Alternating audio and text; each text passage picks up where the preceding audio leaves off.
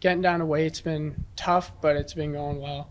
I started about uh, around a month before the preseason started, dieting and kind of shrinking my body a little bit, just to make it a little bit easier when season and we got to start making weight just to make it easier. Having a, a team as deep as this one this season and going through wrestle offs, how does that help prepare for this season? Um, going through wrestle off, it, it gets our guys like ready to compete because you don't compete for since nationals, so just knocking that rust off, competing's well, and that's really it. got a lot of young guys in the room. You know, probably scrap with the Frost brothers, other young guys around your weight. Uh, what have you seen about just seeing from the newcomers uh, this year in the room?